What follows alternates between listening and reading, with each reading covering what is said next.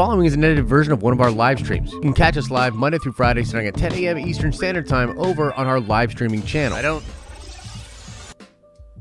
It's like eh, it's like either coming out of the vents or it's like some weird Star Wars Santa Christmas magic, but there's freaking snow all over the place. At first, it seemed kind of magical, and I was like, okay, some magic shit happening in the tower. Now it's a little annoying. Anyway, ladies and gentlemen, how are we all doing today? Got a little bit of a holiday vibe going on in the tower. It's that time of year, and we made it through one year. We made it through a year, did we not? We did. Today, I want to talk about the Empire of the Hand. I want to talk about Thrawn.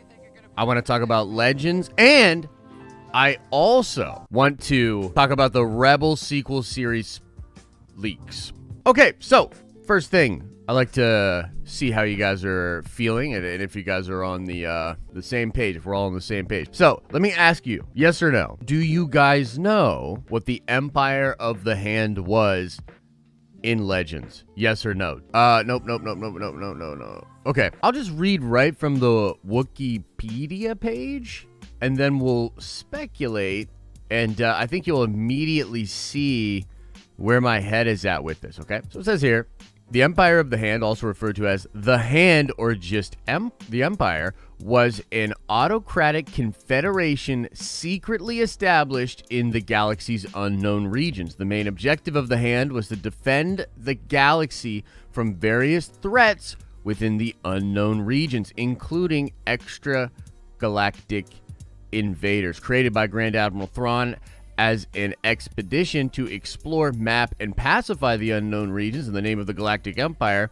it was made possible with the support of Emperor Palpatine, who gave resources and manpower to support Thrawn's territories. The thing that's so cool about this is, and again, this will tie into the leaks that we will discuss in a little bit here, but I think one of the, the main things that we've been sort of asking ourselves or wondering as Star Wars fans about is how is it possible that the events of The Mandalorian, if they're going to go big, how can the events of The Mandalorian not overlap with and therefore need to worry about the events of the sequel trilogy? As I've often said, it kind of feels like they're going to set something up that will have a, a reason that it was so separate from what was going on in, in the known galaxy. And I've always thought that the unknown regions were a terrific way to introduce that element. They've already used the unknown regions as a convenient way to sort of hide nefarious plans, the plans of the Emperor, etc., etc. It really does feel like if they're going to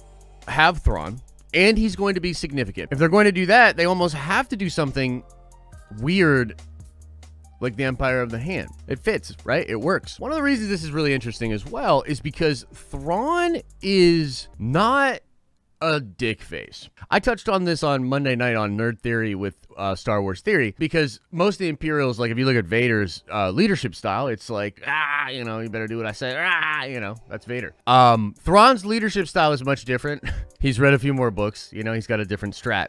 So Thrawn his crew actually really likes him. Like, here's a quote right here from Vantar describing the Empire of the Hand. He says, The Empire that Senior Captain Thrawn is carving into the evil that pervades our world is not the empire you choose to leave. His is an empire of justice and dignity for all beings. His empire is one we gladly serve, one we are willing to die for. And this brings me to another thought. In Legends, the Imperial Remnant and the Empire of the Hand are not the same thing. Eventually, the Empire of the Hand sort of dissolves, and I think it sort of gets absorbed into the Ascendancy and the uh, the Empire, the Imperial Remnant. But it's initially not. It's different, as you know that quote sort of indicates. And it's a coalition.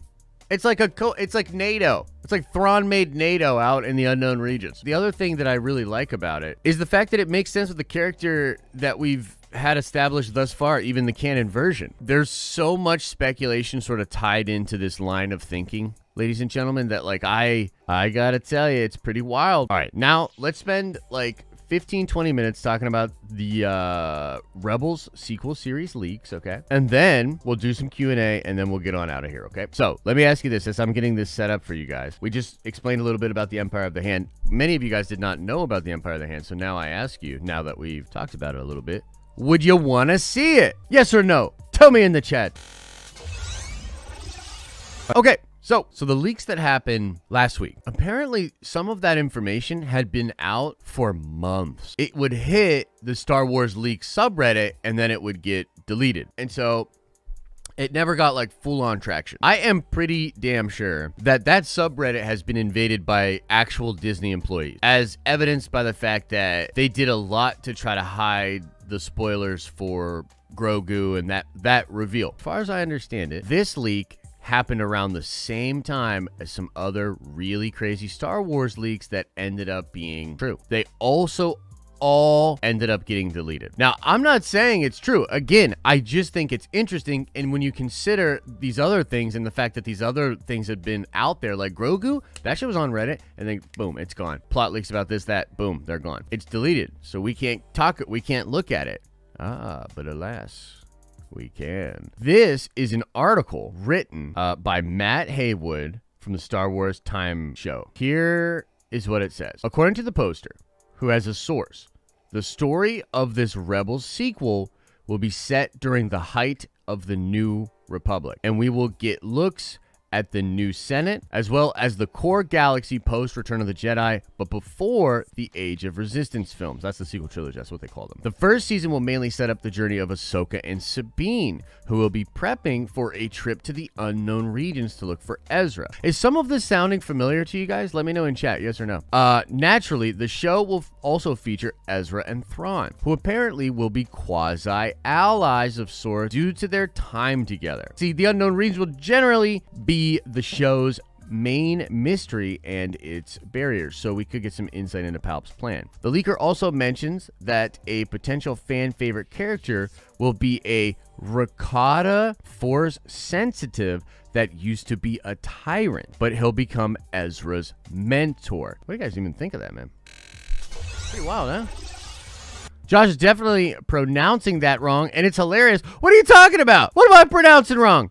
I'm not pronouncing anything wrong. The moment I pronounce it wrong, it becomes the right way to pronounce it, and therefore every other way to pronounce it is incorrect. Here's the thing about all that. I was pretty confident that this animated series, the Rebels sequel, the Rebels animated series, the one that is thus described in these ricotta cheese leaks, I was pretty sure that that show was real, dude. However, the conventional wisdom right now from a lot of the people that I talk to is that it's very likely that that show was taken from its production phase, which was going to be for animation, and was changed to live action. Are we about to get the Empire of the Hand, a a a ricotta, ricotta that's mentoring Ezra? Ezra and Thrawn have this sort of weird relationship as well, because it all it's all making sense now.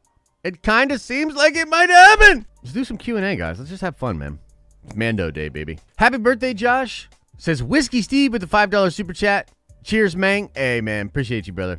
Thank you so much. CGM Show, $5 super chat says, Josh, you should check out the Marvel 616 documentary on Disney Plus. Is an amazing dive into Marvel with a funny, interesting episode on Japanese Spider-Man. Dope, dude. Love Japanese Spider-Man. Uh, Jonah Cavi says, do you think the next episode will be another pit stop for Mando or something uh, totally unexpected since it's shorter. Happy birthday, brother. Thank you so much. I'll tell you what my gut tells me. My gut tells me it's Boba. Yeah, I think Boba Fett. Oh, here's what I think. I think Boba Fett tonight, and then I think episodes seven and eight are Thrawn slash Gideon slash maybe Tython. But I also think Tython could be a season three and four thing. Uh, hope you have a great weekend, Josh. Uh, RG2088 says, uh, Jennifer Cook with the $10 holla says, Happy birthday and thank you for creating a great place to hang out in an insane year. Jennifer Cook, thank you. Look, without you, there would be no place. Remember? We had like 20, 50 people first part of the year. Uh, Jennifer, I appreciate you being a part of this year. Bond Jedi Rain Hey, Josh, same birthday as me, brother. Happy birthday. Hey, thanks, man. Appreciate the love. Sorry, I almost missed that. Josh, what's your prediction for Jedi Dan and Baby Yoda are going to meet up in the abandoned temple? It's Mace. Okay. Yeah, no, that could work, Anthony. That could totally work, Tony. Why is nobody talking about Kanan's son? Dude, I know, Patricia, for sure. Jacen Syndulla or Syndulla. Definitely want to see it. Brobo Fett, I like that, Rick. Happy birthday to you as well. Kathy Kennedy says, Happy birthday, Josh, from the president of Lucasfilm. You know, Kathy, thank you so much.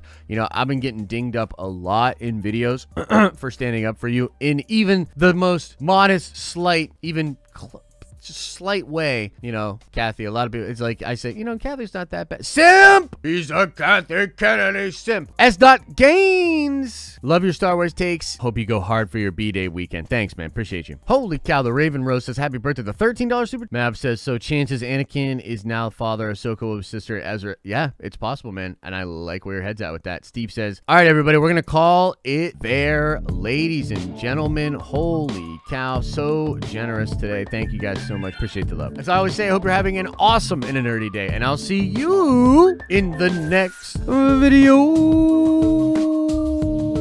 Look at all this freaking snow.